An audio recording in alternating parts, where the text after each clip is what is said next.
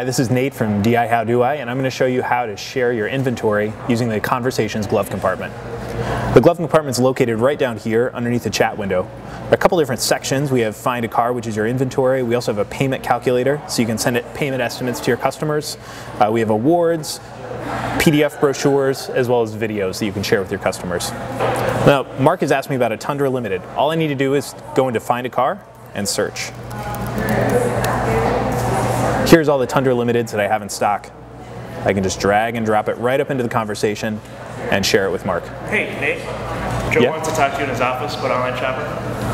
Oh, um, yeah, that's no problem. I can do this on the go.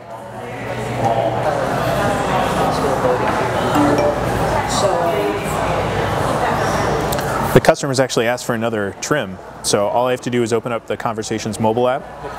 I can open up the inventory, search for an SR5.